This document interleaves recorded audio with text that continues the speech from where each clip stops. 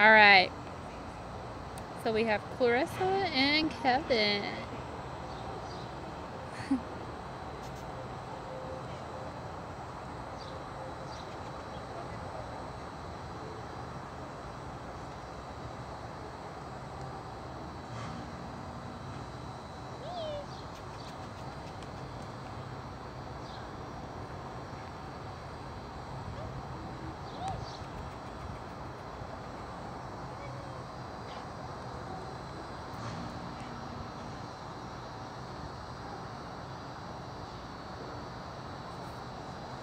嗯